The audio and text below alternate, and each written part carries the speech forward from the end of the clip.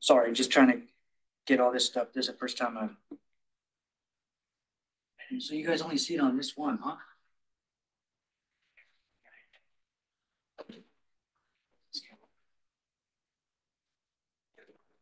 Um, how can we change the monitor? Let's see here.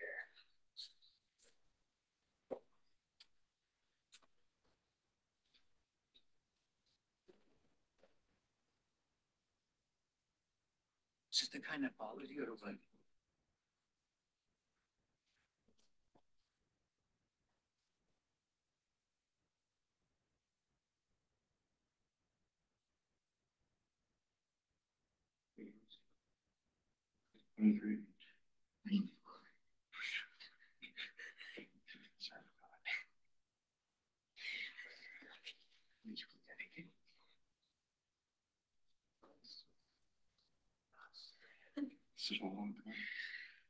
No, this is causing excitement. I see, alright.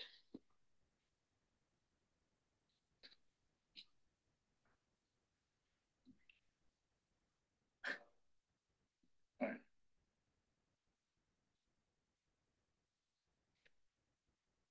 Okay, good. And we got a long time, huh? Good to see a lot of you back in here and some new faces as well. Very nice. Guys will definitely be Rhythmetics experts after you study this whole book. Right? It'll give you the foundation you need to do advanced studies. So I'm excited that a lot of you stuck around. This semester was going to be a lot more, some more, uh, we'll, we'll look at waveguides, which is going to be something probably a little bit more familiar classical.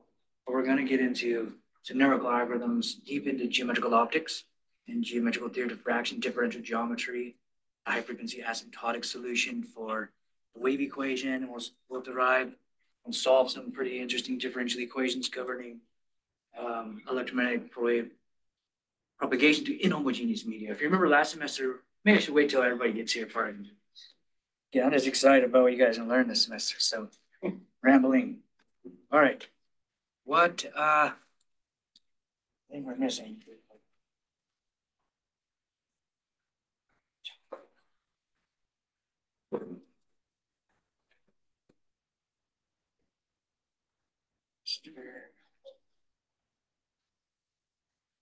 I need to make sure that the, does anybody have their laptop?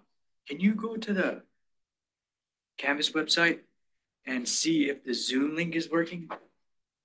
Uh, it seems to be. Shh. let me see. Trying Can you see and hear us?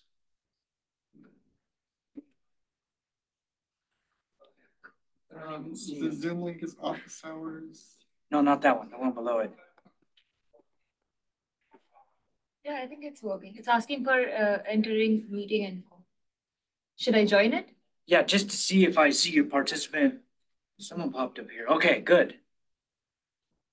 Uh, the other thing is, can you, you can see me well when I'm above, or in front of here?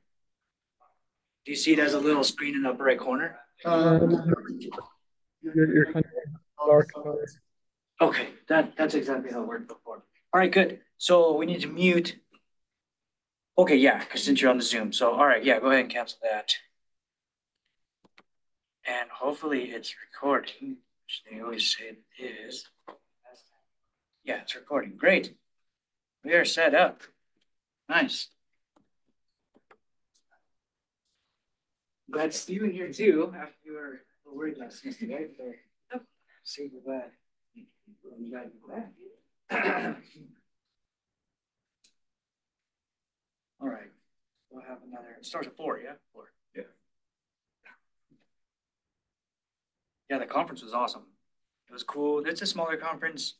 There was a lot of, lot, but there are more radio science people there. It's like the biggest radio science one. Yeah. Uh, freezing cold, like minus ten degrees out there. I mean, for you and Steve, it's probably no big deal because you, Steve was from New York, you're from Michigan, right? Yeah, yeah, yeah. So, Yeah, it wasn't, it wasn't that bad. And then all of this out here is kind of not bad. But it was, it was bad for travel because planes were getting delayed left and right and canceled. Be lucky to make it home, you know? was uh, interested in the topics you presented? There were, there were a couple people from UC Boulder that were interested. There was, someone had a comment about. Yeah, with the nose, the, yeah, lieutenant found a nose. Yeah, yeah, yeah. Was talking about that. And then, um, they were also mentioning. I mentioned the subreflector implementation, which you're working on, right? Yeah. That, that's, that'd be a good one to have, because they were asking if it could be smaller. Because there is a lot of reconfiguration to do around the main reflector's rim. That would require a lot more uh, elements than than a simple Don't make my work any harder than it has to be. thing.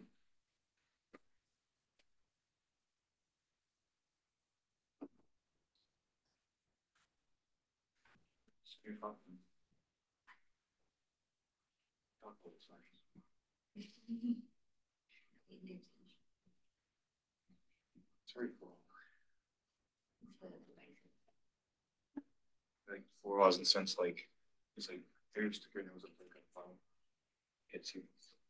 Flower, A flower, not, not like the baking flower, like a flower. like- flower. That's what I mean by flower, like, it hits you a lot. Yeah, like cardamom, things like I that. don't like orange. It's a big seed, right? Mm, It's mostly crushed, it's ginger. ginger is one. I like my. Because that-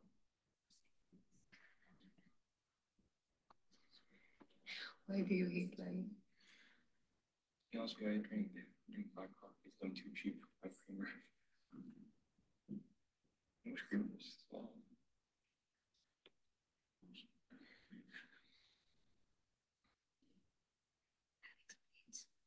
Wine bitter on the inside. Uh,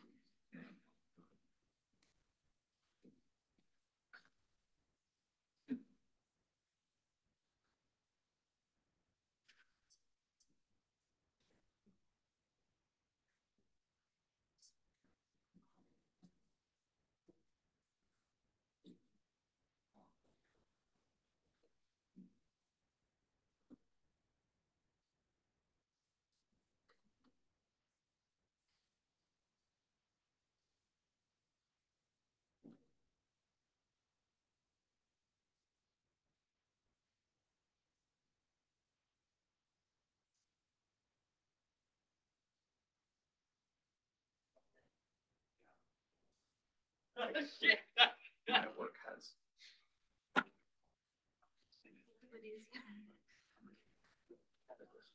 Here's a little qualitative. Not true. Here.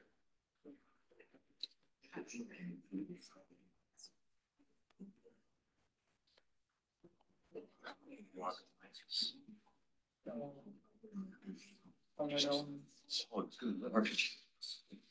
Better than mine.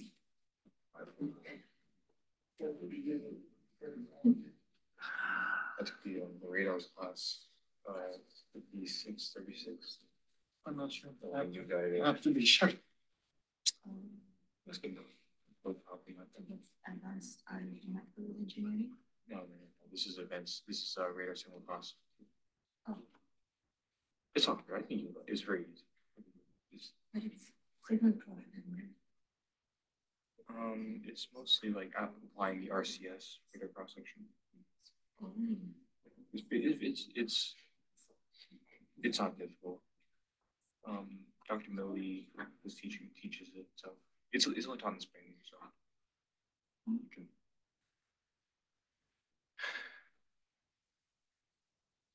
Might radar next month. If he lets me. You let me take radars, I don't see why not. Oh. Was it good? Was it good?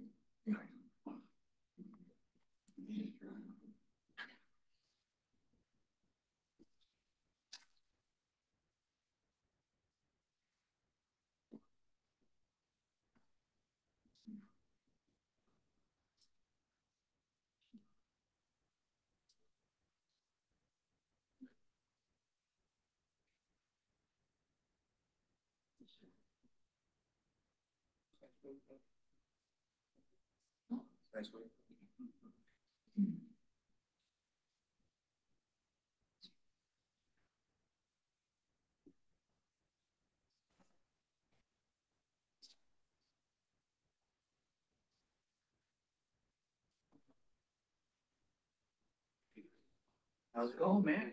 Good to see you.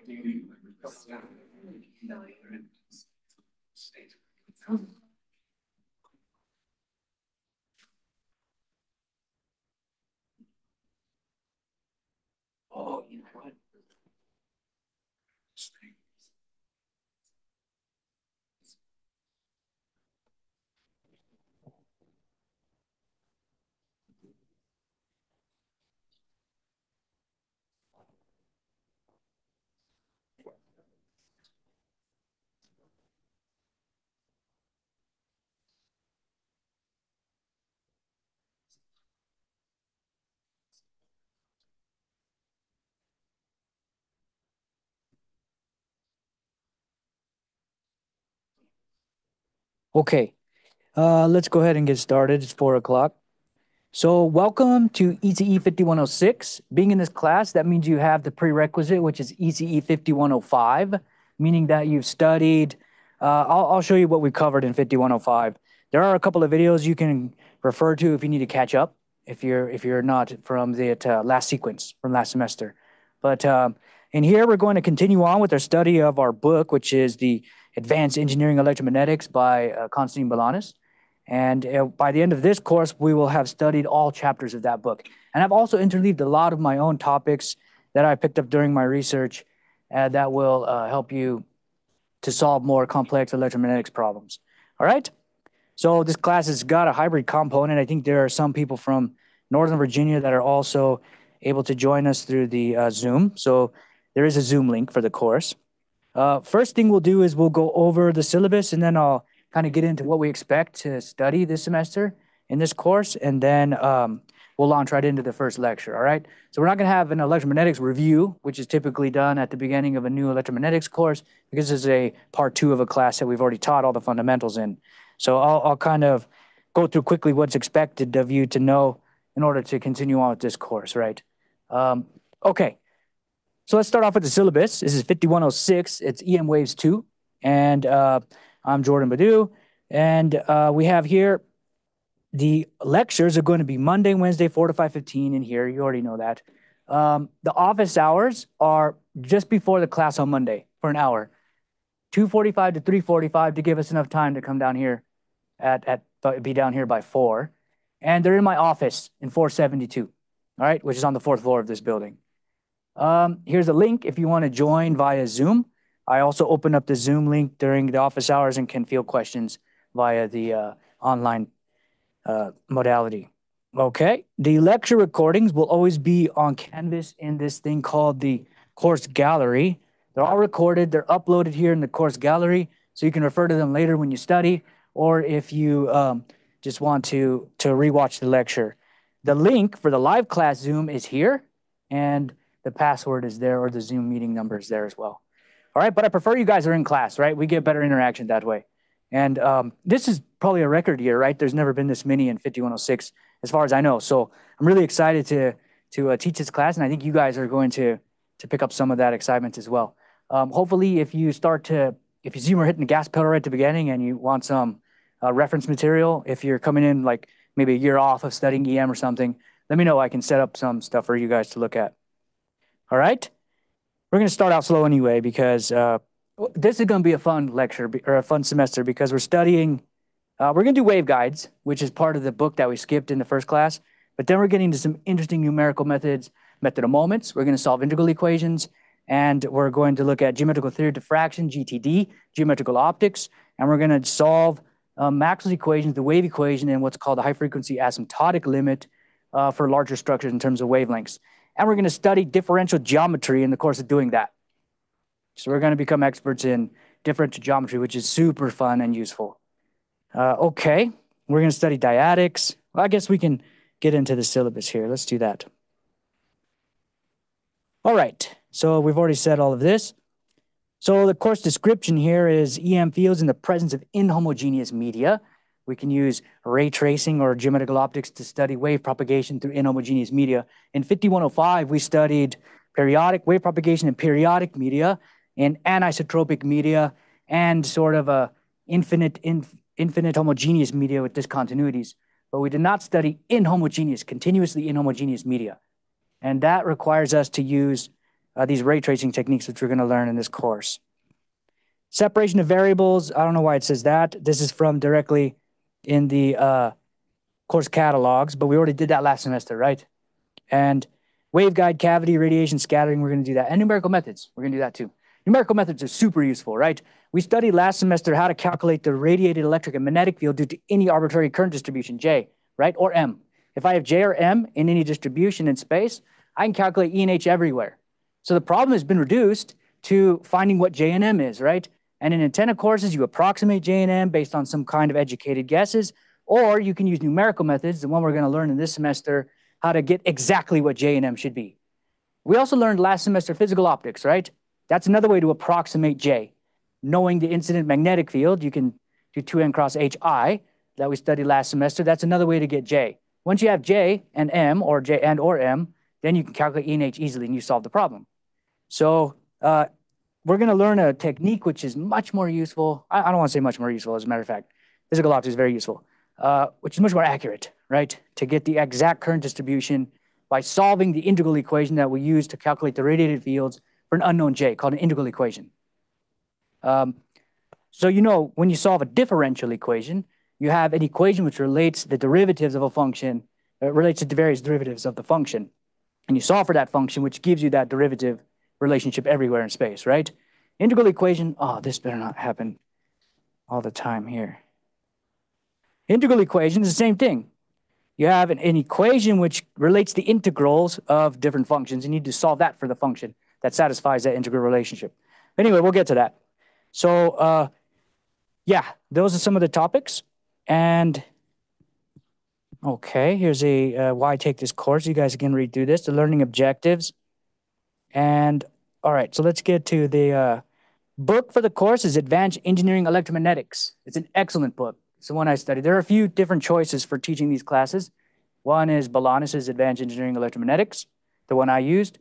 There's Harrington's Time Harmonic Electromagnetic Fields. There's another book by Kamal Sarabandi who he just uh, provides that book for free and just published it from the University of Michigan, and that's also supplemental text if you want. Has a lot of the similar information, this advanced, uh, you know, electromagnetic theory. Uh, but but there are many other texts, right? Uh, homework, there will be six homeworks. If you take in 5105, then you know the homeworks are somewhat challenging, but they're rewarding, right? You need to sit down and work through this, this material in order to really grasp it.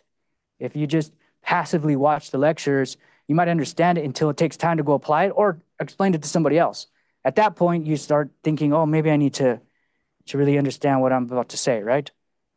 Uh, so there's six homeworks. I might cut that to five. I think there's a bit much last semester, but you guys endured and you were rewarded. I, I guarantee you probably will uh, appreciate that later. So we'll see. Uh, the one thing about this course, okay, there are two tests, midterm one and exam one, or final exam. So you have a midterm and a final. The midterm's Wednesday, March 13th, and the final is Friday, May 3rd, uh, 2024.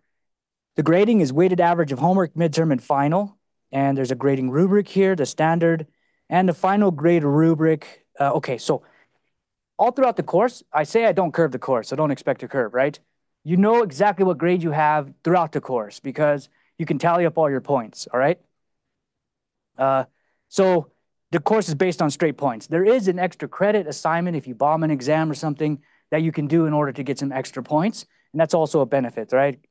Uh, so don't worry if you fail something and you're calculating your grade and it's you know coming out not what you expect. There are ways to improve it, and um, implicitly, I also I don't even want to say that. I don't want you to rely on anything at the end of the semester. All right, but uh, if the average is not where I want it to be, I'm going to probably shift everything up. So, but anyway, no curve. Don't expect. All right. There's a midterm instructor review. I give this to you guys in order for to collect feedback. So halfway through the course, I'm able to adjust the course based on your feedback and change the second half of it so that, that you guys are happier. There's too much homework or, you know, not enough time for this, not enough time for that, or slow down or, or more example, whatever it is, right? You write that up in your midterm instructor review, which they don't do here, but it's something I've set up. Then I can make adjustments for the second half of the course. And if you saw, if you complete that, you get an extra 3% on your midterm grade. So if you get 97, then I add the three just for answering the couple of questions and you get 100, right? So uh, you can't go over 100. You won't get 103, but you can get three extra percent. The honor code, you guys should read that. ADA accommodations, if anybody has that, let me know and we'll take care of that. Some copyright for these notes, don't distribute them. And here are the topics. Okay, so let me just jump over here to here. This is the book, the table of contents, right? So this is a good place to check whether you have the prerequisites for the course. We studied chapter one already, which is just introducing Maxwell equations, went through power and energy and all the, the classical uh, boundary conditions and so forth. Then we went deep into the electrical properties of matter. What is permittivity? What is permeability? What is its origin? What does D arise? Where does H arise? What do these vector fields represent? How do they incorporate materials? What are the constitutive relations and what are their physical origins, right? Then we looked at the wave equation. We did this in various coordinate systems. We did rectangular first, then we did cylindrical, separated variables and cylindrical coordinates. We had special functions, Bessel functions, ensure that you have seen those before. Hankel functions, ensure that you've seen those before and you understand their properties and how to utilize them to solve scattering problems with cylindrical or, uh, in this case, cylindrical symmetries. Then we did it also in spherical coordinates. We got spherical Bessel, spherical Hankel, Legendre polynomials. Make sure you've heard those words before and um, how to utilize those to solve scattering problems in spherical coordinates. Uh, there, there are resources. There, all the lectures were recorded last semester and they're available if you guys want to look back at them. But I'm not trying to scare you. If you guys have heard the vocabulary, you're probably okay. All right, I'll walk you through everything. All right, uh, and then we also solved it in generalized coordinates, allowing us to separate variables in any coordinate system that's curvilinear and orthogonal. We looked at wave propagation polarization. I'm sure you've seen this, right? What are the properties of electromagnetic waves in unbounded homogeneous media? They have wave impedance, they have wave numbers, attenuation constants, polarization, state could be elliptical, circular, linear, different uh, different states of polarization. We looked at wave propagation in lossy media and infinite unbounded homogeneous media. Then we introduced a discontinuity in that infinite unbounded homogeneous media. So now we have an infinite interface between two semi-infinite homogeneous media. And we looked at what happens there, reflection, transmission. We derived reflection coefficients, transmission coefficients.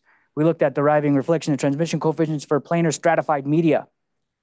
And we also looked at wave propagation anisotropic media around this time. Okay, then we did a very important chapter, six. We looked at uh, how to calculate E and H given a J or an M, right? Using the concepts of vector potentials, magnetic vector potential, electric vector potential, and so forth, right?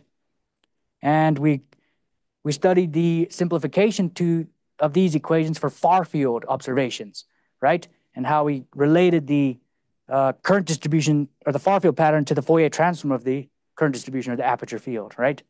So these are these are really good concepts. Uh, basically, we solved the wave equation, but the inhomogeneous wave equation with the right-hand side not equal to zero, some source distribution. We invoked the concept of Green's functions, right, and spatial convolutions against those Green's functions as kernels with the input function being the current density. And then we looked at theorems and principles. We can't solve any problems in electromagnetics that are more complicated than canonical geometries without understanding these theorems and principles, right? These are very important. Here where we saw physical optics, we saw reciprocity, reaction, equivalence theorems are super useful. Make sure you understand equivalence theorems, uniqueness, duality, and so forth, right? We skipped eight and nine and 10, wave guiding. We did a lot of uh, scattering. Then we went into scattering. So we did plane wave scattering off of planar structures, cylindrical structures, spherical structures, and we did all of that, right? Line sources, we looked at how to expand or mode matching, expand the incident field and the scattered field in terms of the same set of cylindrical modes, spherical modes, and use boundary conditions in order to match those modes and derive expressions for the unknown coefficients in the expansions. All right? And we ended the semester there. We looked a little bit at metamaterials and metasurface modeling at the end as a bonus. So that brings us to this course. We're doing eight. We're doing all the waveguides, rectangular cross-section, circular cross-section, and spherical transmission lines and cavities, right? As the first three things we're going to study.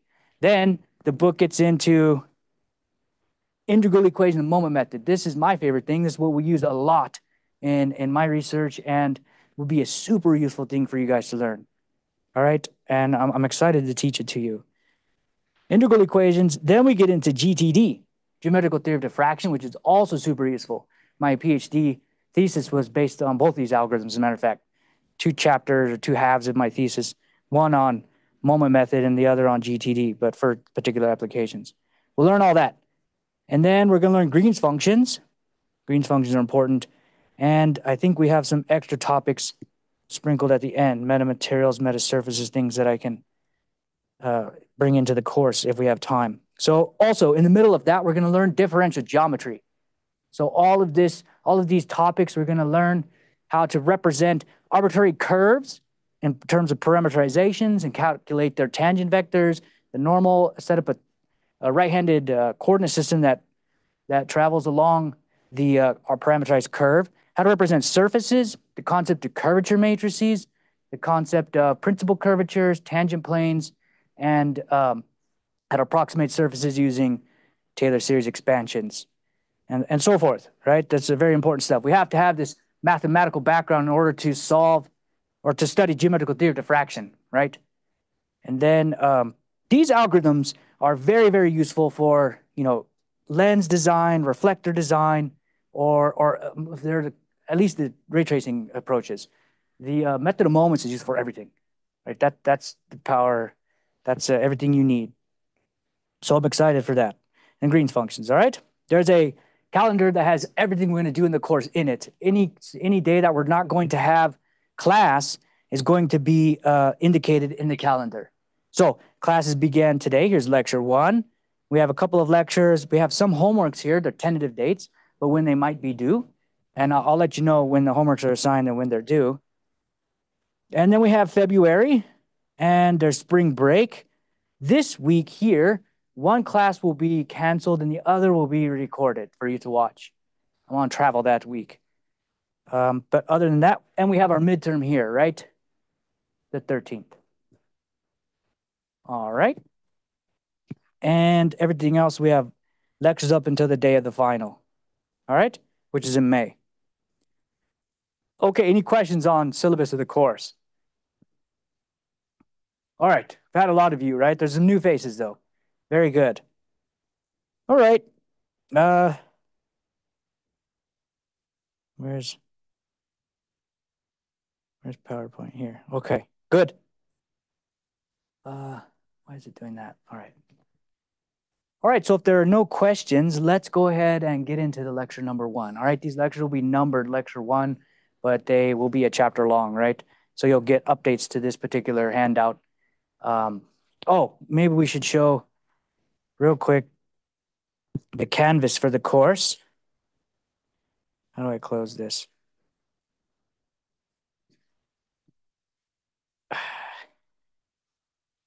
Okay. The canvas for the course has everything will be in these files here, right? We have reading material, which will be assigned in the reading material folder.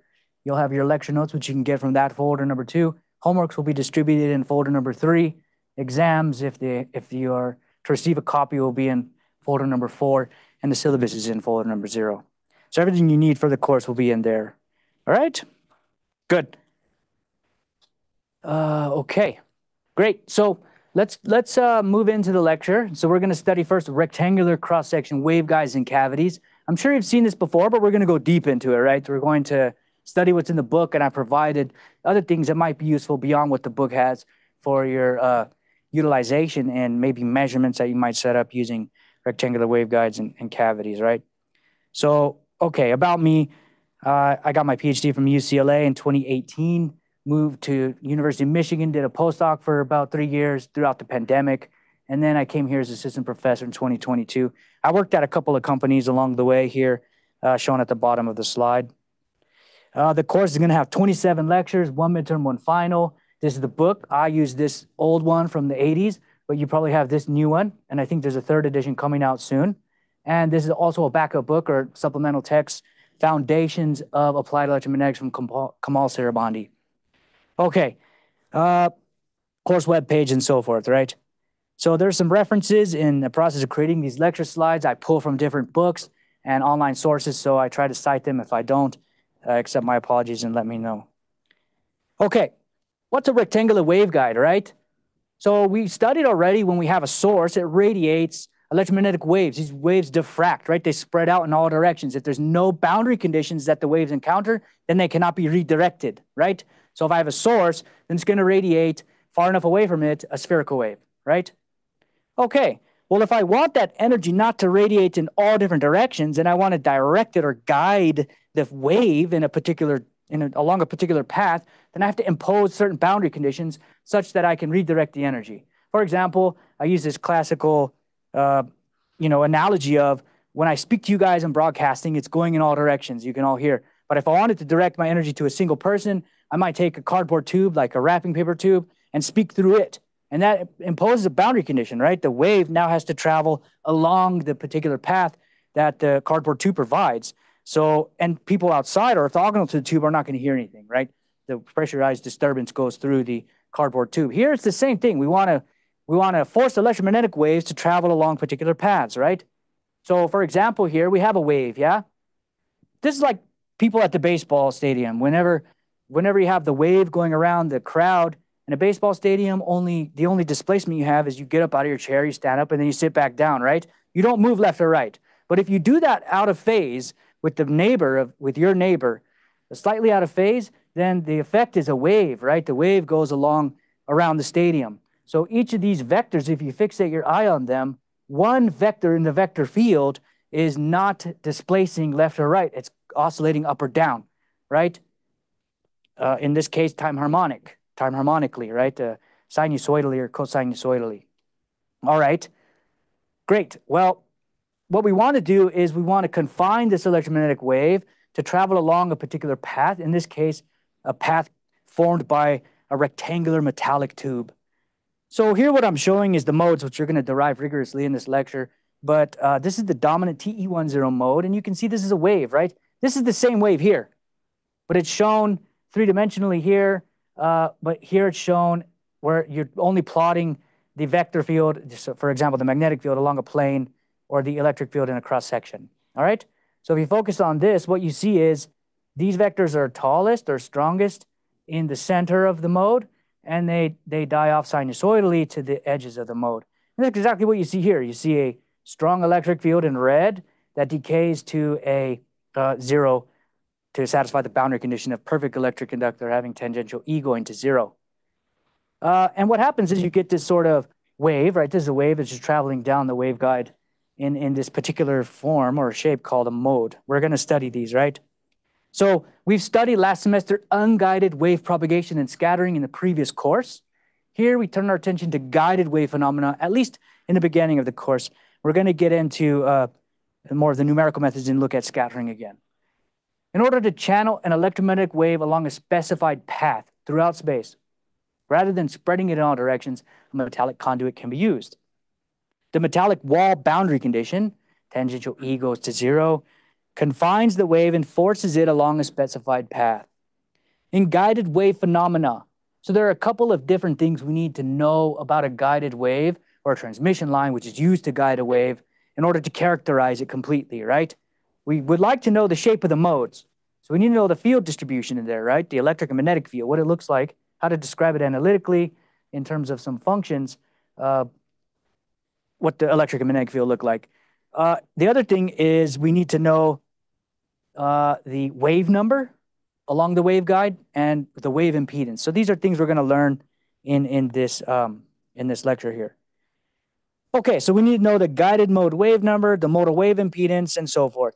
And it is also important to know the mode field profile. We're going to learn all of that. We're going to learn what dispersion means. Dispersion is extremely important, right? Free space is not dispersive. So that's why when we do scattering problems, we don't study dispersion rigorously, right? But when we get to guided wave phenomena, waveguides can be dispersive.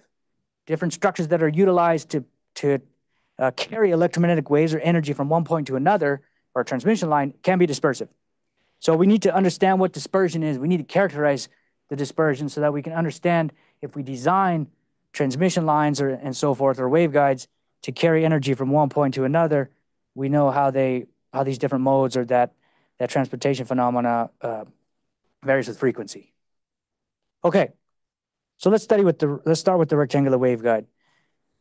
We can break the mode sets that are satisfied by the wave equation and, uh, and satisfy the boundary condition uh, if the rectangular waveguide in terms of two kinds of sets, TE to Z and TM to Z. So what does TE mean? Do you guys remember? What is TE? Very good. Transverse electric, right? What does the superscript imply? Very good. So it's transverse electric to the Z direction, which means the electric field is transverse to Z, which means it has no Z component. Since Z is the direction of propagation, that means that the electric field has no Z component in the direction of travel. All right, that's one set. You have a question?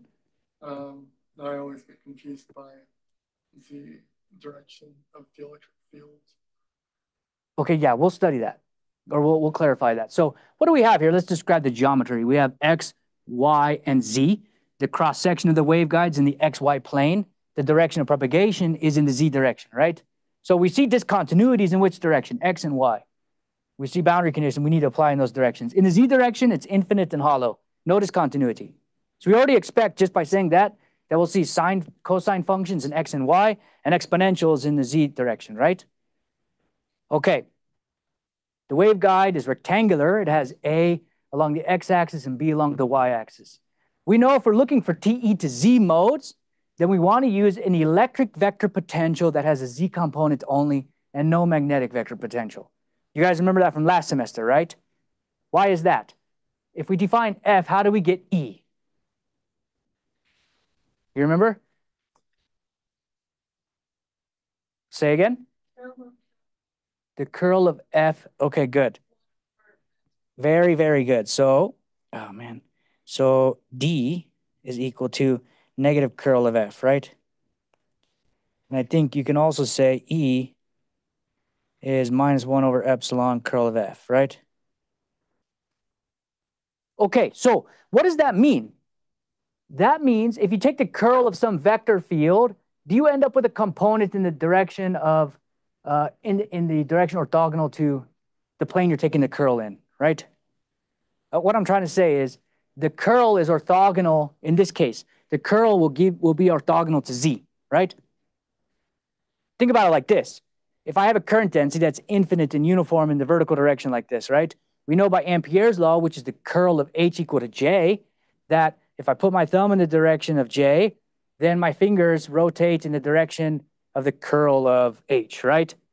So that means that the h field is orthogonal to the, the circulating orthogonally to the axis of which it's circulating about, which is the direction the current is. So we can kind of say that the curl vector, the curl is orthogonal to z, right? That's the point. That's why you get TE to Z here. I only have a Z component. If I take the curl of this only Z component, then you will only get a uh, X and Y component out of that, or TE to Z mode. I think I have that somewhere. Let me just show you. Or we'll see that, I'm pretty sure. Because we have to derive it using, we'll, we'll see that. Once we plug this, once we take the curl of F, right? All right, so to generate TE to Z modes, we choose the following vector potential, FZ. That'll give us TE to Z for sure. And no A, because we're looking for TE. When we come back and find TM modes next, we'll use AZ and F equal to zero. So this FZ, this vector potential, satisfies the homogeneous wave equation. Del squared of FZ plus beta squared FZ is equal to zero. And we can apply a separable solution to this to solve that homogeneous wave equation. We could, we could use separation of variables, right? So F is equal to FGH. And the wave equation then, by solving by this wave equation by separation of variables, we end up with uh, the rectangular wave function solutions, right? We did this last semester. Since the waveguide is bounded in x and y, we expect cosine and sine in the x direction and cosine and sine in the y direction. And in the z direction, we expect traveling waves. All right? So these have unknown coefficients, C1 and D1.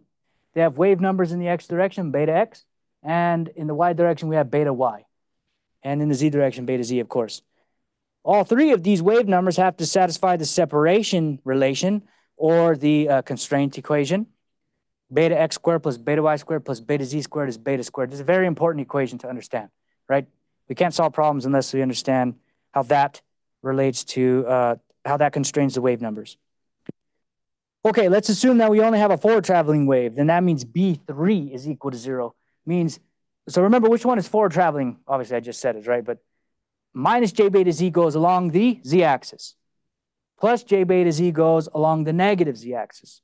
So we want forward traveling waves only. We say B3 is equal to zero. That removes this solution.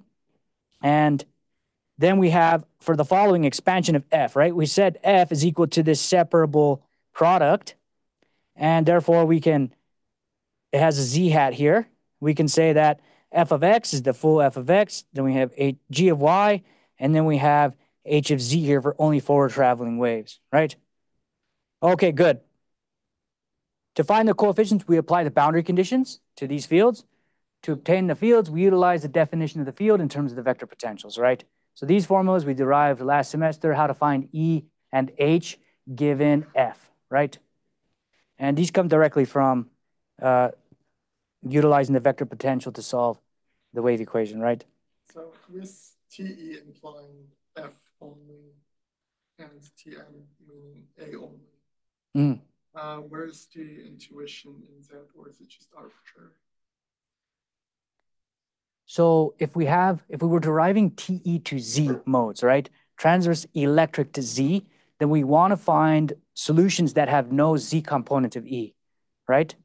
So if we set F, the vector electric vector potential, to be in the direction of Z, and we take the curl of that F to find E, then we will be guaranteed that we have no Z component E because the curl is orthogonal to the direction of which you are taking the curl with respect to.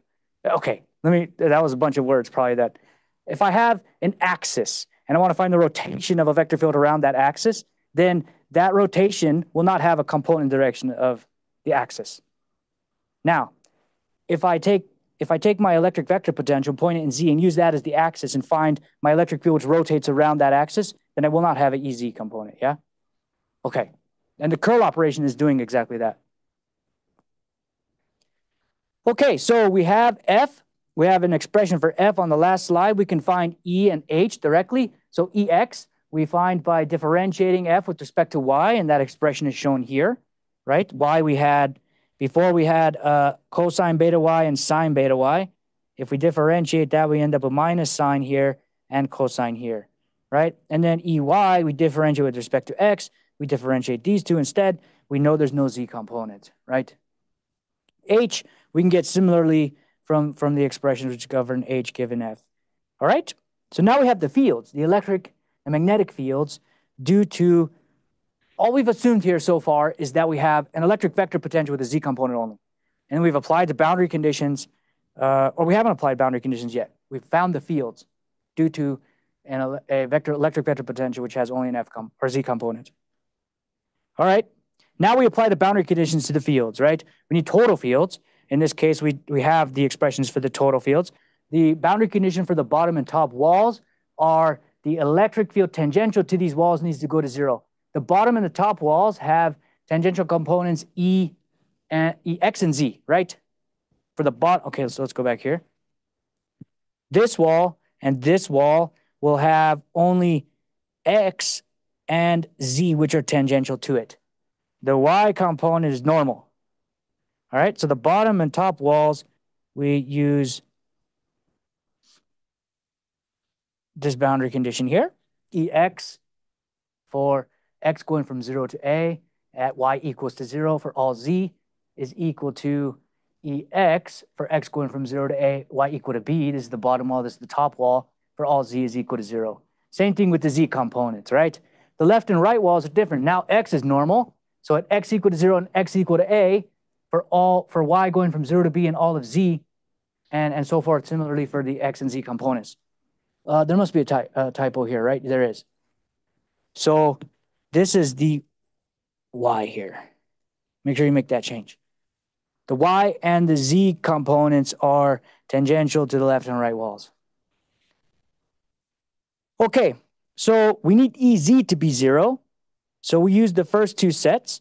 We go back to, uh, since EZ is equal to zero. All right, yeah, so EZ is already equal to zero, right? So this we've automatically satisfied, that we've automatically satisfied. So let's go back to this one. EX at Y equals to zero uh, has to be equal to zero, right? So what do we do? We take EX, we plug in Y equal to zero in order to, to satisfy this boundary condition.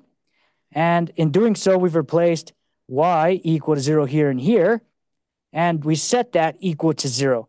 Now, the only way we can satisfy this equation with the knobs that we can turn is uh, if, so sine of zero is already zero, right? But cosine of zero is one, so that means this d2 has to equal to zero. So that's our first conclusion, right? You've probably done this a hundred times, but we're just gonna walk through everything formally. All right, ex at y equal to b now, so let's satisfy uh, this one, ex at y equals to b, which is the uh, top wall. We plug in b here, right? So now we plug in b here, knowing that d2 is zero, so that term is gone. Now, in order for this to equal to zero, we have we have this knob to, to, to turn, right? Beta y. So beta y, so what are we saying here? Sine of beta y b has to equal to zero.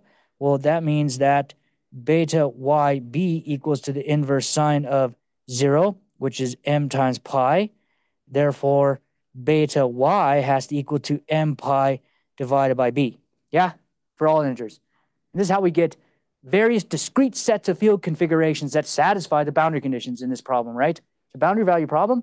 We have a discrete set of wave numbers indexed by integer n, at least at this stage, that allow us to, that each satisfy the wave equation and the boundary conditions on the rectangular waveguide.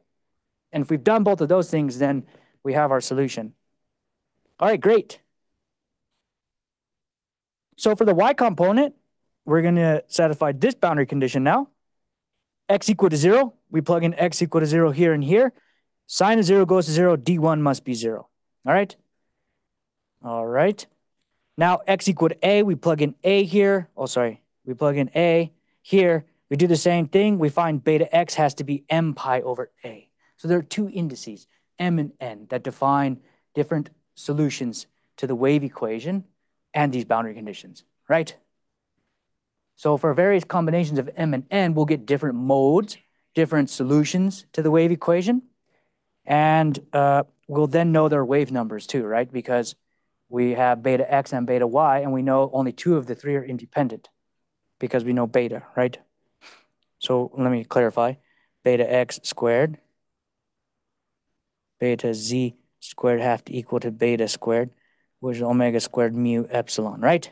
We know what omega is because we're we set the source excitation frequency. We know what mu and epsilon are inside of the waveguide. We know what beta x and beta y are now. That means beta z has to be a function of these quantities, right? So we have we have everything, right? Because beta z then is equal to beta squared minus beta x squared. And we'll see this on the coming slides, but here's beta y and here's beta x, right? And we know beta because we have these parameters. Good. And beta z defines the wave number in the direction of propagation, right? We're going to see that beta z is dispersive.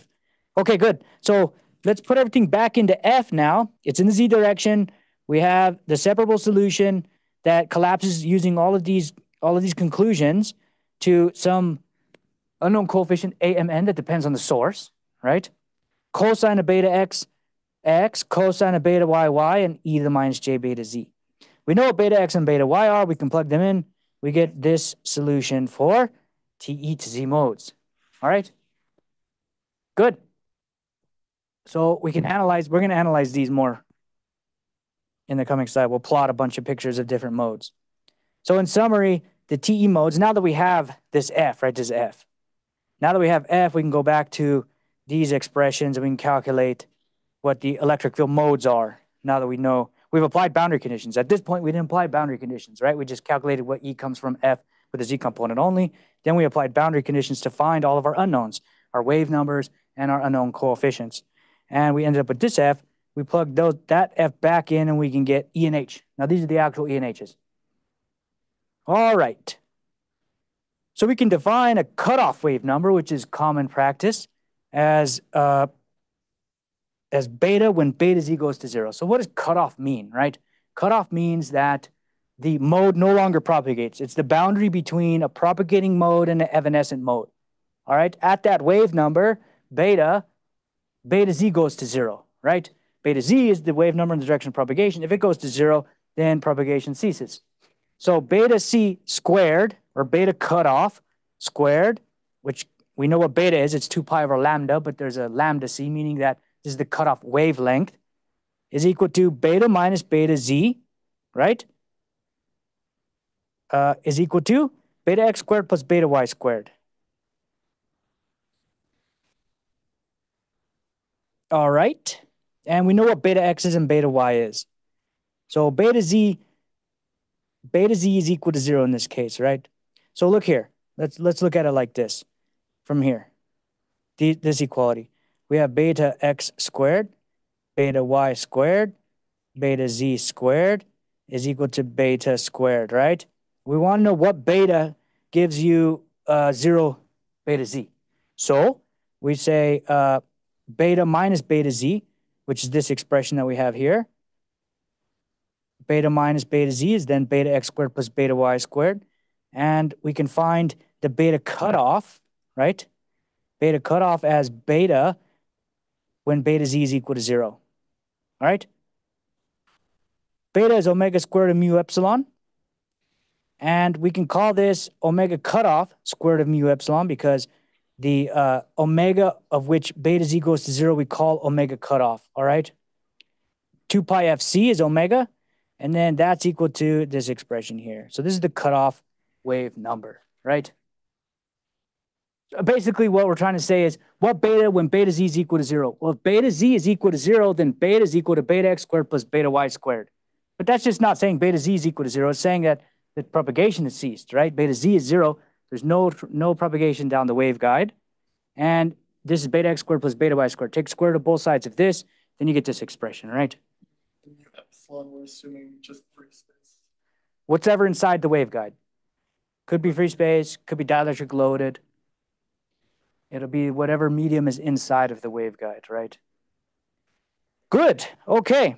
From this equality here, you can write this expression for the cutoff frequencies of the different modes, all right? All right, so I made a plot of these. What do we have here? We have an air-filled WR90 waveguide. I think this is an X-band waveguide with these parameters or these dimensions, A equal to 0.9 inches, B equal to 0.4 inches, all right? So this tells us a lot about how this waveguide operates.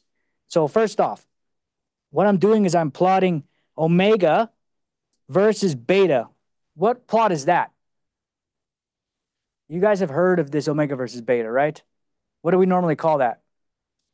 Dispersion. Very good. This is dispersion of a waveguide. All right?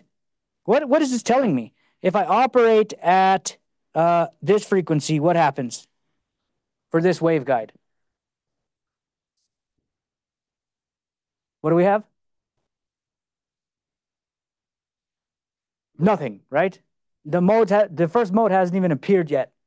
We're below the cutoff frequency of the first mode, right? Does that mean that there's not enough energy for the wave to even propagate? It means that the beta that we're supplying, omega squared of mu epsilon, there's not enough beta to provide to satisfy the boundary conditions for the dominant mode, the lowest order mode in the in the cross section, and have beta beta z enough beta left over to give propagation in the z direction. Beta x and beta y squared have to be there to to satisfy the boundary conditions, right? It's evanescent in the z direction, exactly. Another way to look at it is this, right? Here's uh remember beta z is equal to the square root, technically there's a plus minus here, of beta x, or sorry, uh,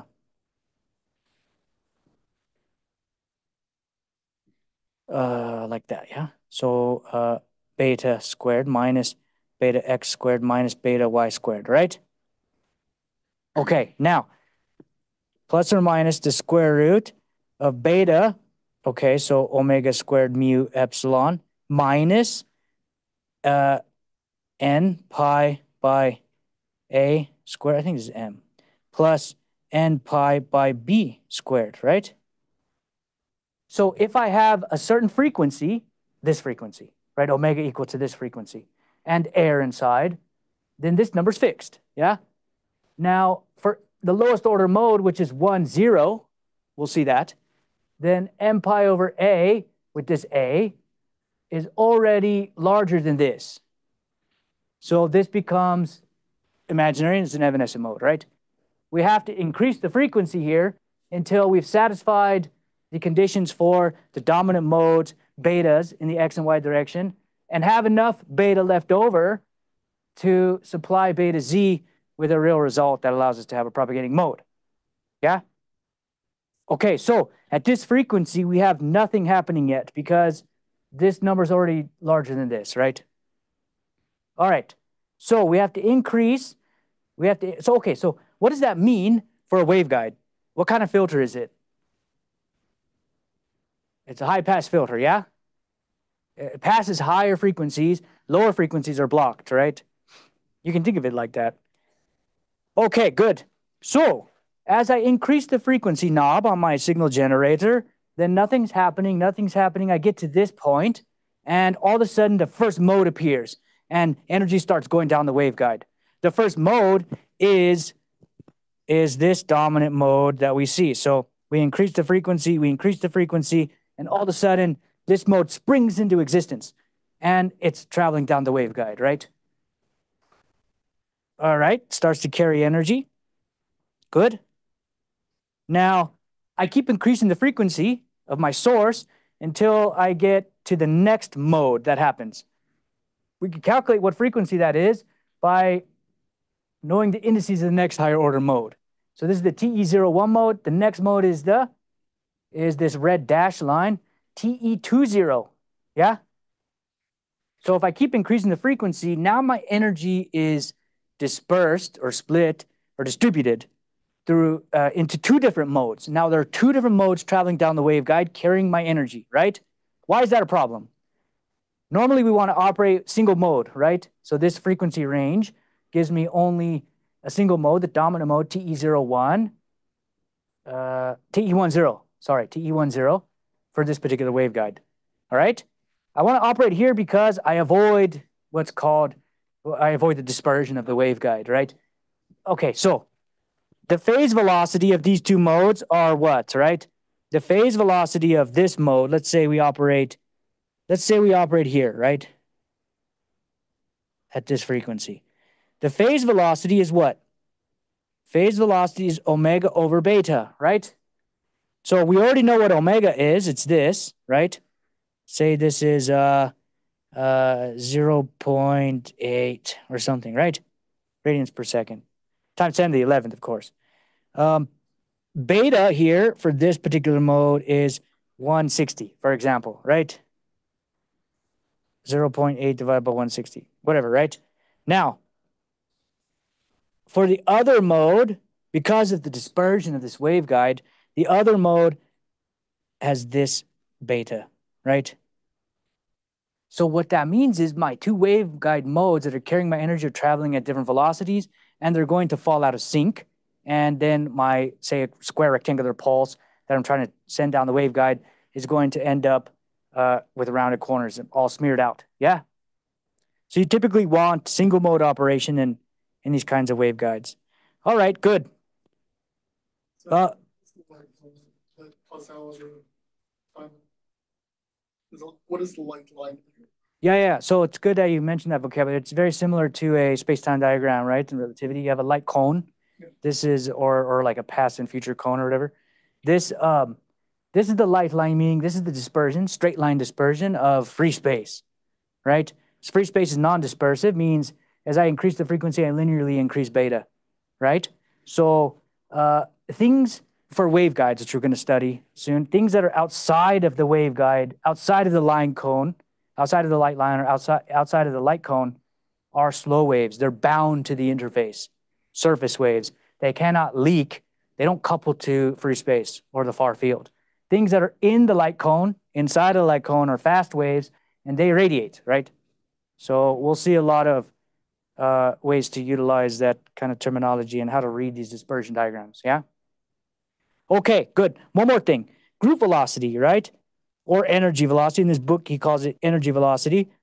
is the derivative of, okay, so beta z, I suppose, the derivative of the dispersion curves, right? So what do we notice about, and, and this is the energy, this is the velocity of energy, this is the velocity of information or modulation that we send down the waveguide, right? So what do we notice at these frequencies where these modes just start to appear? What do we say the group velocity is there? Zero, right? There, there's zero tangent here. So right before the mode appears, it has zero group velocity. Makes sense, yeah? Because beta is equal to zero. And uh, at this point, this cutoff wave number, we have no mode appear. So there's no energy traveling, right? Each mode, when it comes into existence, has a group velocity equal to zero. As you increase the frequency higher and higher, that mode approaches the light line, right? Good. Okay, good. So these are all the different modes that appear as you increase the frequency. The higher you increase the frequency, the more modes appear in the waveguide. All right? Very nice. Let's look at TM modes now. For TM modes, we want A with the Z component only and F equal to zero. Then how do we calculate, what do we relate to A? Which field is related to A? What is it? Very good. B is the curl of A. So if A only has a Z component, then, and B is the axis of which that A is rotate, or B rotates around that axis, right? Hold on, curl of A, yeah. A has a Z component, B rotates around A, right? Around the Z component of A. So it will have no components in the direction of Z. Good. All right, and no F. So here's A with only a Z component, F equal to zero, satisfies the homogeneous wave equation for A. If we, uh, if we use the separation of variable solution, we end up with this solution A equal to BMN. Now we have a different coefficient B, sine of beta XX, sine of beta YY, and e to the minus j beta z, right? And by applying the boundary conditions and finding the fields again, we find that uh, we have beta x and beta y, which are the exact same, right? Then we can find E and H directly from our solution for A here. And we find that there's no HZ. We expect that, right? By construction. So these are modes that have no H in the, in the direction of propagation. All right, let's look at the mode impedance, right? Very important to know the modal impedance is if you're trying to match a source to excite a particular mode, right? Then you, or if you have some kind of discontinuity and you want to calculate the effects of that discontinuity on a particular mode, then you know the, you need to know the impedance of that mode, right? So each mode has an impedance defined by the wave impedance, right? Wave impedance is E over H, orthogonal to the direction of propagation. Here we're looking at the wave impedance in the plus Z direction for a TEMN mode, TE to Z, right? We know that the direction of propagation is Z, and we want to ratio the transverse components to the direction of propagation. So that should be EX divided by HY, because X cross Y gives you Z, right? This is different than the. No, this is related, right? Eta is the intrinsic impedance of the medium. And, in free space or unbounded media, the wave impedance is the intrinsic impedance of the medium, right? So they're related in certain cases. In this case, they, they aren't right? They are, but there's an additional factor. We'll see. EX over HY, wave impedance, all right?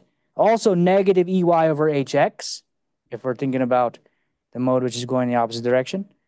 And we have, that's omega mu over beta Z.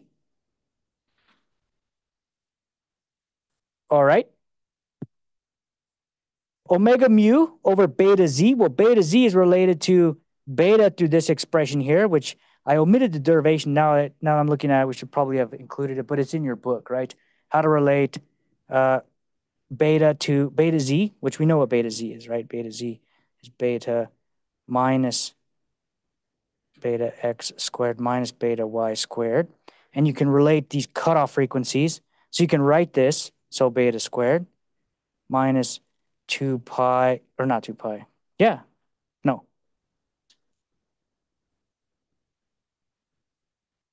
n pi m pi over a n pi over b, right? Uh, you can relate these to the cutoff frequency, right? A ratio of the cutoff frequency to f by going back and looking here. We have this cutoff frequency has these quantities in it. So you can make that relation, right? You can write you can write these quantities in terms of you can write it like this, right? Okay. All right. So we can see here that it is related to eta, but it's divided by the square root of 1 minus fc over f squared, right? And that's owing to the dispersion. That's for f greater than the cutoff frequency. The wave impedance for f at the cutoff frequency is infinite. And why is it infinite?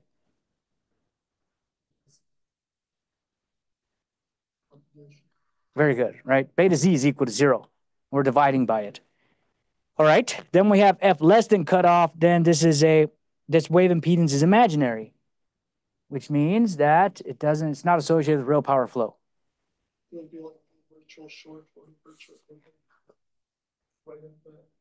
Yeah, you could probably, you could probably uh, derive a circuit model for that, and it might have, might have that circuit analogy interpretation. Yeah, very good. All right, so TM modes have a similar impedance. So let's look at this. So this is a function of FC over F, right, in both cases. And we have different regions. Here is FC equal to F, F equal to F cutoff at 1, right? What do we see there? We see that uh, this one goes to infinity, the TE. So the TE is this solid line, goes to infinity, right? And the TM goes to 0. So it goes to 0. Very good. And we also see that these are going to have sort of a square root type of relationship, especially the TM has this square root function, right? Which we know looks something like that. Very nice. And we can see that, well, okay, so why are we calling these modes? They, they have resistance above the cutoff frequency, right? E over H should have units of ohms, right? Should have units of resistance. Should be E over H in free space is what? Very good. Three se- yeah, 376, se- 76 or 377, right? 120 pi. So E over H is a real number, a resistance. So when it has a resistance like this, then uh, that just implies the ratio of E over H is not associated with loss, right? It's the wave impedance here. A resistance means that it's a traveling mode. When it's reactive here, that means that it is an evanescent mode. Great. Sorry, All can right. you just, can you just clarify, um, we're using omega in the expressions up there, but we're also using F for frequency, uh, relative to the cutoff frequency. Can you just sort of clarify why we have both those terms? They're not the same. Uh, you're talking about this omega here. Oh, omega here. Yeah, omega mu. Okay, yeah, sure. So beta, omega mu over beta. Uh, so beta z we can write as this expression, right? From from using those expressions before. Omega here is part of the numerator. So we introduce f. We could probably write the numerator as two pi f as well. Just operating omega, right? So, but the reason why we leave it as omega mu over beta is because we know that uh, that's equal to eta, right? So go. Does that does that answer your question? Y- yes, that answers my question. Thanks. Okay, great. F F over FC and in the normalization we have FC over F, is that intentional? Yeah, yeah. That that is is uh the plot is correct, right? It's taking that into consideration. Um. So one thing. So what what is this plot useful for? Let's say we have the dominant mode and we want to put a probe into a waveguide and we want to match the 50 ohm coax to the mode and excite it and not have a bunch of reflection and get a good S11, for example. Of course, the input impedance to that is more than just the mode definition. You, you see the back wall and so forth, right? Uh, but you would use this plot to find maybe the impedance of that mode that you're trying to match to, right? So it's a useful plot. All right. What do the mode fields look like? So here's a plot of a bunch of different mode fields. We already saw this. This is TE10 mode. This mode is the dominant mode. This is how you want to operate your waveguide because you avoid having two different modes traveling at different phase velocities that are going to disperse your data. So uh, dominant mode TE10, that's this mode. So this is the first one that satisfies the boundary condition, right? Beta x is equal to m pi divided by a, right? Now, uh, if m is equal to 1, then beta x is pi divided by a. And we know that beta is 2 pi over lambda, right? So from here, we can say that uh, lambda is equal to 2 pi divided by pi divided by a, right? Or we can say that that's a over 2. No, it should be a over 2, but I did something wrong. Lambda pi divided by a. Yeah, it's a over 2, right? Good. What? 2a. That's right, 2a. Sorry. All right, 2a. So this mode has this mode in here, if you draw it like this, has a maximum here. It goes to zero here. Then it goes back to zero. Well, the wavelength that's associated with this, if we extend it, has a wavelength which is 2 times a, where this is a, right? So you can kind of see where that beta x appears. At the higher order betas, we increase beta. The next mode is this one, TE20, right? So let's let's understand what TE20 is. TE20 is beta x equals to m pi by a equals to 2 pi divided by a now. And that's equal to 2 pi divided by lambda. And now we can say that lambda is equal to a, right? Okay, good. So here, start at zero, get a maximum, go back to zero. Then we go to another maximum, but you can't see it. But this vector is vertical, and this one here is is also vertical, but it's pointing down. They're pointing in opposite directions, yeah? This one is pointing up, and this one's pointing down. So this goes to a negative maximum, and then back to zero. So this mode is associated with a transverse beta in the x direction of uh, m pi over 2 pi over a, te20, right? And there's no variation in the vertical direction because this is zero. There's nothing going on in the vertical direction. It's uniform in the vertical direction, right? All right. What about TE01? That's just the opposite of TE10 or rotation, right? Y becomes the, the direction of which we're uniform. What about TE11 now? So, okay, this one's kind of interesting. What's that? One division. maximum. Yeah. Here's 3, 0. That's easy to see, right? So this one's pointing up, then down, then up. All right. And and so forth, right? We can have combinations of two in the x direction, one in the y direction, and so forth. Yes. TE zero one not also considered a dominant mode? And if not, why? TE01 happens after TE10. That's why. Let's go back. Changing in omega? Yeah, the frequency. So the green one's first, right? That's TE10. The next one is this red dash one is TE20. And the reason why is eh, okay, so when do we see TE01, which is the red one? After that, right here, it's right here. So the order is TE10, then TE20, then TE uh, 01. And the reason why is because of the rectangular nature of the waveguide, right? You get more beta out of the broader wall, or, or sorry, the narrower wall, because it's 2 pi divided by A, or m pi divided by A, or m pi divided by B.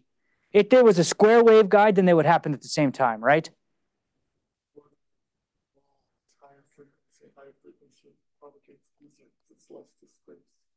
Yeah, so the shorter wall does have higher frequency because across the shorter wall, uh, you have to go to zero on both sides, right? So that's going to happen over a faster or shorter distance.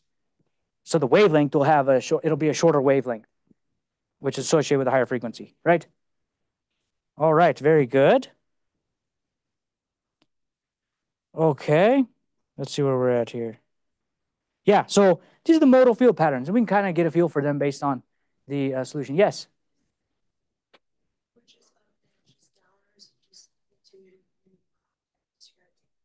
The direction of the vectors? Yeah. Like in the with the red part, like can you tell which is up and which is down, or you just have to? No, so this one, so this one here has, I can see it, right? It's Oh. vertical. These are pointing up. This one's pointing. Is that what you mean? Yeah. Okay, but that's that's kind of arbitrary, right? Because each, this is a cross-sectional view of the waveguide, right? Each of the vectors in this cross-sectional vector field or the cross section of a vector field is another vector field in a plane. Each of those vectors are going to uh, are going to oscillate e to the j omega t. So they'll both they'll start to oscillate at different times. Then this one will point down, this one will point up. Right? Each of these vectors are like a, a person at a baseball stadium, and they're going to oscillate up and down in time. Furthermore, this cross section, it's okay. So look at this cross section, right? It's hard to understand how this cross section gives you this mode, right? It applies to this entire mode. How does that happen? Because each of these vectors in here, let me be clear. This this is the cross section of this mode, right? Each of the vectors, this vector, for example, in this modal distribution plot is going to be multiplied by e to the minus j beta z z, right? e to the minus j beta z is an oscillating function of z. So at some z, let's say z equals to zero, maybe we get this exact plot. If I were to pause this, wonder if I could do that. Imagine I could pause it, then I'd have a vector like that, right? As this vector in this cross-sectional view. At some later z, I have to multiply this vector by e to the minus j beta z, which is taking this entire modal pattern and multiplying every vector by it by e to the minus j beta z, and I can shift this pattern to different planes, right? Different planes in z. e to the minus j beta z is an oscillating function. So at some point, this will go to zero, and at some point it'll go to negative maximum and a positive maximum. So this vector here doesn't, it oscillates in time in its place right here, and it oscillates with respect to z in terms of e to the minus j beta z. If you combine both those concepts, you get this animation. How would the animation from TE one zero differ from TE two? Very good. So you see this, you see how there's one maximum right at that point. That's exactly this picture, right? If I multiply that exact point by e to the minus j beta z, then I get all these other cross sections that make up this kind of modal profile. Now, you could start with this profile. You'd have two maxima here, and you would see uh, two red hotspots next to each other traveling down. Instead of one in the middle, you'd have two, and they would travel in the same bubble looking thing, right? Like, for example, this is a crazy mode, 4 3. And you can see all of, so there are four four variations in this direction and three in the vertical direction, and they they travel like this is one, right? But here's the same thing before three. There's a high high frequency to get this mode. So with free space, we have the fraction of propagation and then E and then H is orthogonal to that. Um, but where is the H when we have a waveguide and we have an HZ component? So So remember, uh, E orthogonal to H orthogonal to direction of propagation is for TEM modes, right? And this waveguide does not, there's no TEM mode that satisfies the boundary conditions in this waveguide, right? the TE and TM modes. And therefore, we don't have that relationship E is always orthogonal to H orthogonal to K, right? What we have, what always holds is Maxwell's equations. So if you have E, you can take the curl of E, divide by uh, J omega mu, and you can get H, right? that's only if we have a centric conductor, do we have? Minus J omega mu. Uh, if you have two conductors, you can you have the possibility to support a TM mode. But there's only one conductor, right? Very nice. Okay, any other questions? So are these these are sort of intuitive, right? These are this is solution to Maxwell's equations with these boundary conditions, right? That's all this is. The solution to the wave equation, which is derived from Maxwell's equations for the boundary conditions of which form a rectangular pipe. You get these solutions. Very nice. Yes. Uh, You mentioned earlier about how these higher order modes are not desirable because you end up with multiple modes propagating at different speeds. Yes. Um, so I guess like in these higher, so like say TE four zero, for example, are those different? Are those different sections propagating at different speeds or like I'm kind of confused on how that works. So this mode will still be there with this profile, but superimposed to that. Remember vector field superimposed, electric field superimposed. I take this four zero pattern and, or this one, for example, and for at every point, every X, Y, and Z, I add the vectors associated with this mode and that mode. I'll get some jumbled mess in here, right? It won't be nice uh, delineated into these two modes. It'll be the superposition of those two. But those two are going to travel at different velocities. So there's going to be a lot of beating going on in different uh, dynamics if you were to plot the animation of both those modes. If you put at the beginning of the waveguide your information, say equally, which is probably not the case, but equally into these two modes, by the time you pick out that information at the end, the energy you put into the faster mode, you'll pick out first, and it'll become decorrelated or desynchronized with the information in the other mode. If you're able to, these modes are orthogonal, so you might be able to put uh, information, different information in the two modes, and then you could have higher data uh, capacity, right? So for, for, for applications, Uh, you always want to work with one mode because no matter what, when you go high in frequency, you're gonna get, you're gonna get more modes. Yes, okay. But th- th- we'll get to how to excite particular modes. There, there may be the possibility that you excite one mode without, uh, without, ex- we have to excite the modes, right? If you operate at a particular frequency, all of them are possibly, all of them are eigen modes, right? But if you don't excite certain ones, then they may not be, they might, they may not carry energy. That's the geometry of the structure the feed. We'll see. We'll see. Depending on if I want it, we'll see. We're going to derive an equation that really explains the physics of how you couple to these modes. If I put a wire here, like a coax coming from here, right? I have some kind of coaxial cable with a center conductor, and the center conductor goes right there. From the cross sectional view, it'll look like that, a wire. If I put that wire where the maximum of the mode is, then I strongly couple to it. And I'm near the frequency of that mode. All right? But if I move the wire, say I put the wire over here, close to the sidewall, right? Let me delete everything here. Sidewall, right? Close to the sidewall, not on the sidewall. This mode will be weakly excited, weakly couples to this wire, right? I'll probably excite this mode more. So, and then if I'm close to the resonant frequency of this mode and operating frequency, then uh, this one will be even strongly excited and this one even weaker. So you might be able to control which modes you use, right? By coupling to them differently. What time does this end? 5.15? Okay. All right, so let's look at the dominant mode. That's the, the one that uh, we're going to study the most. That's the one that's typically used in order, if you want to, uh, if you connect these up to like a spectrum analyzer and you want to calculate reflection and transmission through some kind of sample, a metamaterial or something, or a dielectric, and you want to characterize equivalent material parameters for that uh, by calculating scattering parameters from it, you might use the dominant mode in a rectangular waveguide like this. All right, so we can investigate dominant mode, m equal to 1, n equal to 0. The electric vector potential for the dominant mode with m equal to 1 and n equal to 0 is just this expression here. And we can see that, right? This should mathematically explain this picture over here and this one. So what happens? Cosine of pi x over a. When x is equal to a, or when x is equal to 0, what do we get? Oh, sorry. This is f. We have to differentiate it, right, to get e. So I jumped the gun there. Here's beta x, which is just pi over a because m is equal to 1. And beta y is equal to 0 because n is equal to 0, right? Then we differentiate. Okay, here's the cutoff wave number, which is 2 pi over lambda or pi over a. We can find the cutoff wavelength is 2 times a. That's the wavelength of your source that start that you start to see this mode at, right? Okay, now we find the field components. Ex is 0, Ez is 0. All we've done is plug m equal to 1 and n equal to 0 in the expressions we derived before in general. This picture here should be described by this expression, and it is, right? So when x is equal to 0, here's the x-axis. When x equals to 0, then sine of 0 is 0, the field goes to 0, right? It has to. Why? Because this is a y component of field, so it's this way, and it's tangential to a metallic wall there, right? So that has to go to 0 by the boundary conditions. All right, so we know it's 0 there.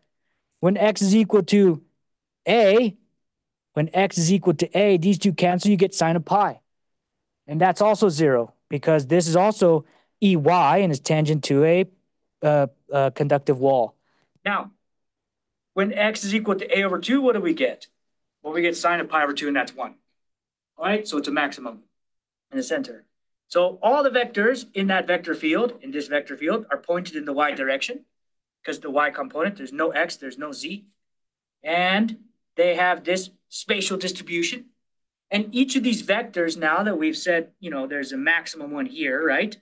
At, at uh, x's and y, at different x's and y's, it's not a function of y, right? So these are all the same in the y direction. Each of these vectors, if you can see each of these little vectors in here, we multiply by e to the minus j beta z. And as z changes, then e to the minus j beta z goes through zeros and maximum and minima, and we get this picture, right? Okay, good. And then there's h. So here's other ways to look at it. Uh, at the front of the waveguide, we have cross section number two, which is this one, which is a cross section in the xy plane. Then we have maxima. These are grouped very close together, indicating that it's strong, and zero over here. And the magnetic field circulates around, right? Uh, let's look at the magnetic field because we haven't talked much about that. Here's the magnetic field, right? So the magnetic field here, if you can see it right here, circulates about the electric field vector, and it should, right? So um, it circulates, and when it has a maximum, it starts to change its direction of circulation. Uh, it's probably better to see a plot like that, but if you stare at this long enough, then you can appreciate the relationship between E and H, which is governed by Maxwell's equations, right? Okay, you can also see that from these kind of plots where they try to do their best to show you these modes without animations and computer graphics. But uh, see here, the magnetic field, so this is cross section one. Cross section one is an XZ cut, right? It's this one. And there you're looking down on top of the waveguide. You can see the magnetic field forms closed loops. Uh, you guys know why that happens, right? Magnetic source. Very nice. Curl of B is always zero. So it always forms closed loops. So we're gonna have these closed loops here, right? That way and this way around the maxima of the electric field, which is in and out of the board here. Right? Very good. And and so forth, right? Okay. So, all right, maybe we should stop here.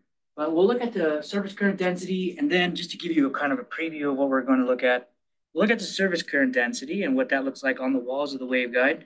We'll look at TE10 mode decomposed into two plane waves. You can look at it in this viewpoint, which is useful for doing waveguide simulator measurements of infinite periodic structures. We'll talk about that a little bit. Look at the power density, the attenuation, and uh, then we'll get into how to expand fields in terms of modes by solving the wave equation in terms of eigenfunction expansions and how to couple to these modes.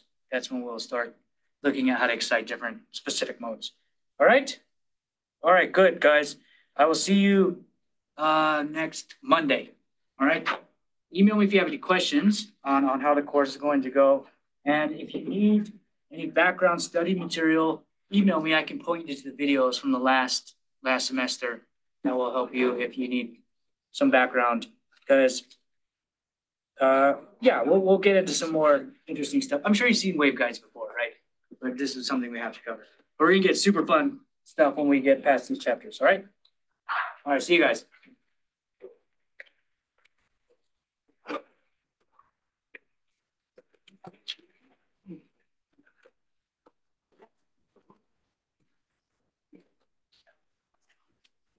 What does road tracing look like? Or, I'm familiar with road tracing. So you're looking forward to it? Yeah. I mean, yeah, I'm really excited about that. I just, I'm just a little scared I'll get, uh, I'll start falling behind. Well, I mean, I understood the most part everything today because we covered this in microwave and RF, but once we get to Yeah. crazier So stuff, uh, you I'm have gonna wonder. operate in what's called the um. so far so good. Yeah, regime. so far so But there are a lot of problems that One you oh five? No, I took it get by with the fall twenty-two. Uh, So it's, and it was with a different professor, so he covered it's like. And then uh. Actually, mixed feelings on that. Yeah. Yeah.